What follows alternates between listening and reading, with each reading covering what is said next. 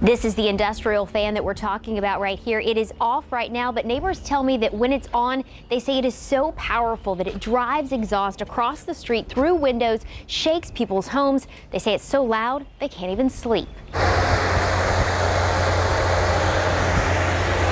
This is a residential neighborhood.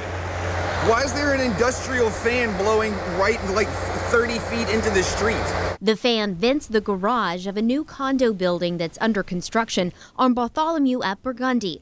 Brian Gyro lives across the street. Uh, That's extremely loud and, and disturbing, particularly if it's if it happens to be running at night. You know, when everyone is home or in the evening when people are home, we we can't even hang out in our backyard. It's it's so loud. According to the city of New Orleans, there's a problem with the fan's sensor that's supposed to control when it turns on its speed and intensity. The city said this fan is not operating as it's supposed to right now.